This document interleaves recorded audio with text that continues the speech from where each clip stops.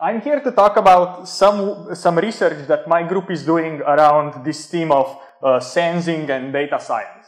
And really, like science advances with availability of new data, right? Science advances when we are able to see, measure, observe things that we couldn't do before. And then we can kind of learn from this new data we collect. So what I want to give to you today is two examples of, of work we've been doing at this uh, uh, frontier where new sensing capability is becoming available. And one will be around personalized health uh, and, and, obesity, and the other one will be about big complex machines uh, that uh, we are building, uh, building like cars, aeroplanes, things like that. So first, health, right? We are carrying these sensors uh, smartwatches, cell phones um, in our pockets uh, all days long. Um, around 70% of adults in, in developed world have uh, smartphones and around 50% in the developing world, right? And there is a lot of sensing about our physical activity and so on that is happening. But this data, you know, the analysis we see and science we see out of this is kind of, they tell you that when there is an earthquake, people tend to wake up right, and things like that, right? So the question is, can we use this to do, um, to learn something about human, human health, uh, and so on? And where, how we started this work was to ask, okay, how much do we know about exercise, um, and physical activity? It's in embarrassing how little we know. Just as an example, if you ask WHO, uh, you know, what's the level of physical activity in Germany, they will tell you that between 5 and 54% of Germans don't get enough physical activity, right? So that's the confidence interval. And, and, you know, for Switzerland and Israel, there is no data. We don't know, right? And, and, right, these are not some third world countries. These are all excellent countries with excellent health system. We don't know. So we actually created partnerships with uh, local companies, um, Azumio and Under Armour, who gave us data uh, for open, free uh, research. And we said, okay, can we use this data to see what can we learn from it? So we have data for around uh, 5 million people uh, all over the world, 160 uh, million days of step tracking and activity tracking, about 230 billion different data points. And this is an example of the of the app and the, the data logging service where people would keep track of their daily activities, steps, sleep, coffee intake, and so on and so forth. So the first thing we did, we simply said, what is the average number of steps people in a given country do per day?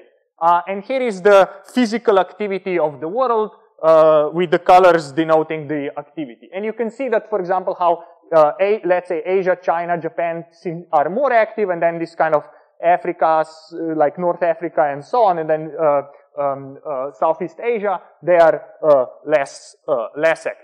But this is, it's not only about average levels of activity, you can go much, much deeper. So you can start asking, how is the activity distributed among the population in a given country.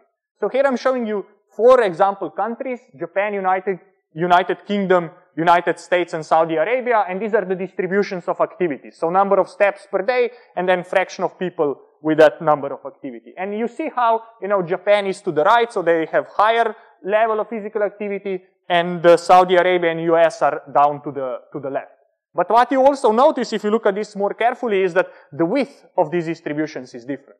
So if I align these distributions uh, that, so that they all peak at the same uh, position, you see how the distribution of activity is much more narrow in, in Japan, and then in uh, US and Saudi Arabia is much wider.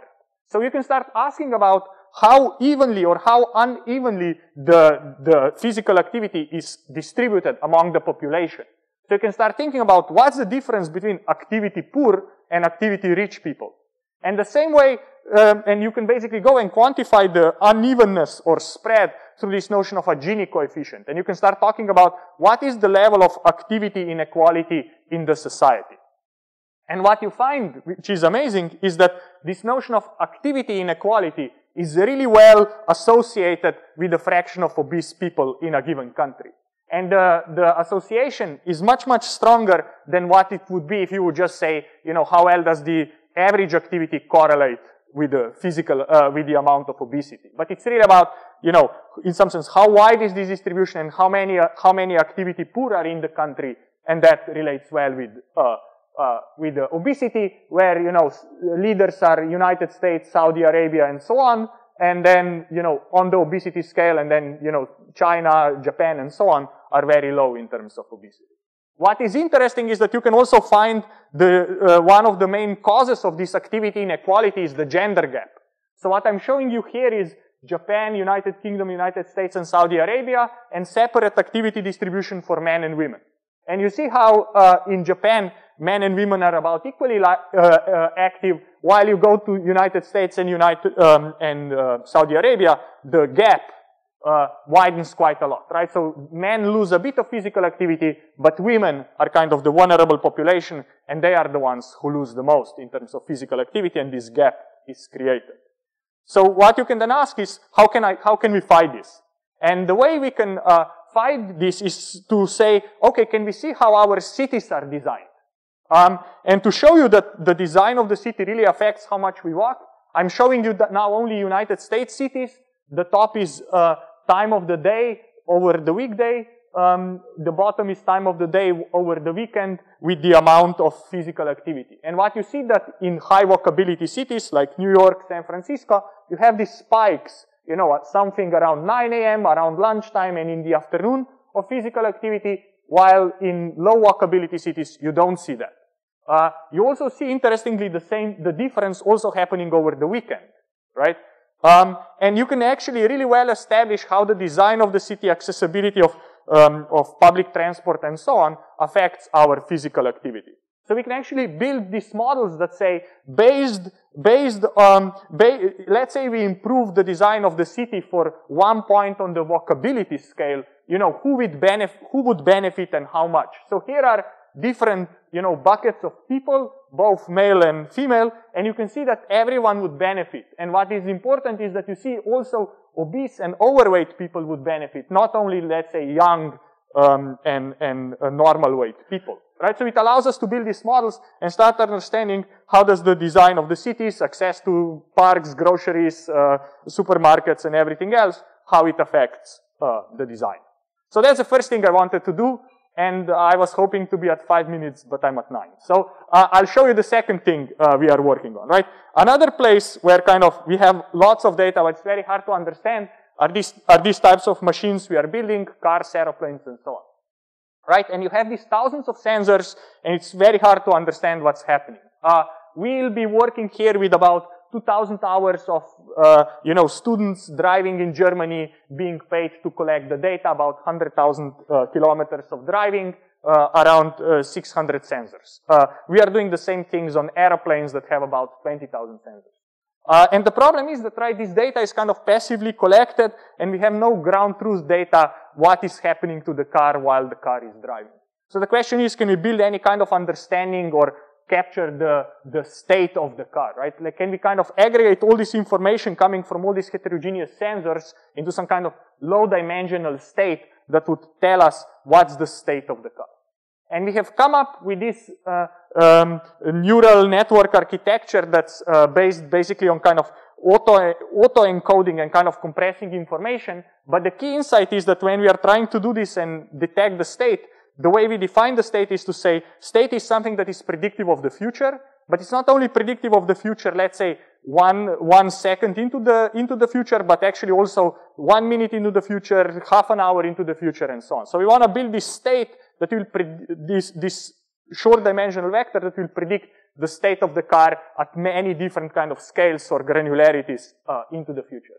Um, and if we, if we apply this we can, for example, go from this 64-dimensional description to predict the exact values of all these 660 sensors one second into the future uh, very accurately. But you can also predict the values of the sensors, let's say 100 seconds uh, into the future, also very accurately from the same uh, 64-dimensional representation.